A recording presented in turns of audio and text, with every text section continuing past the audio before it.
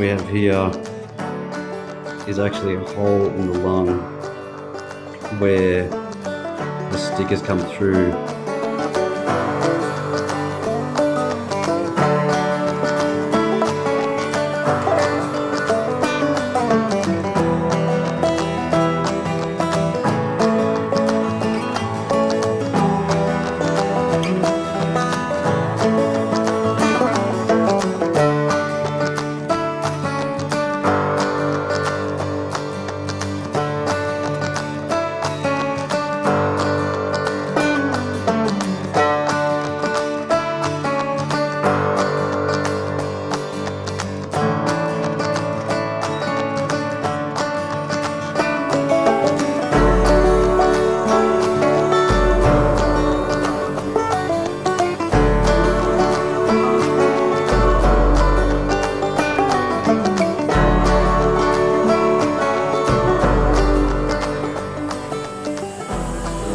in, goes deeper down into that piece of lung we didn't get in the first cut.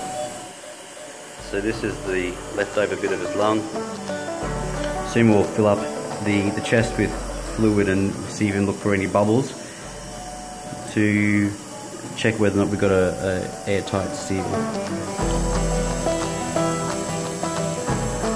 And there was no air leakage and there's no bleeding, so we've got a complete seal.